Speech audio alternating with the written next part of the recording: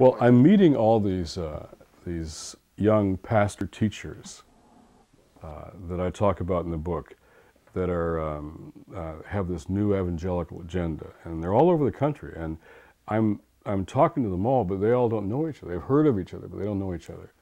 And they're talking about people coming to faith, coming to Jesus Christ.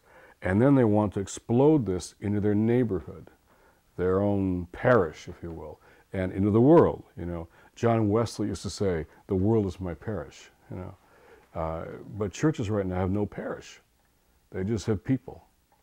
They have no sense of our obligation to this community. I was talking to this group of uh, large church pastors uh, recently, and I said, "Now here's a contrast.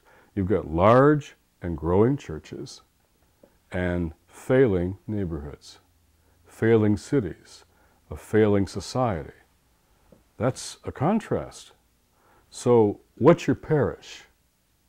Just the people who come on Sunday? Or is it where you live? I have a friend, a black pastor uh, in an inner city neighborhood, and a kid got shot to death on the steps of his church on a Saturday night. Nobody was there The kid died on his church steps. And my friend, it was for him just a wake up call. He said, Am I responsible for what happens in the steps of my church when we're not there? I am responsible.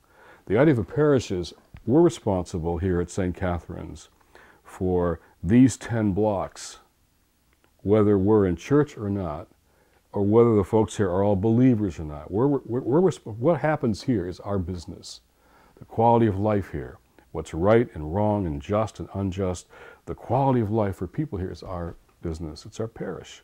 We take care of it.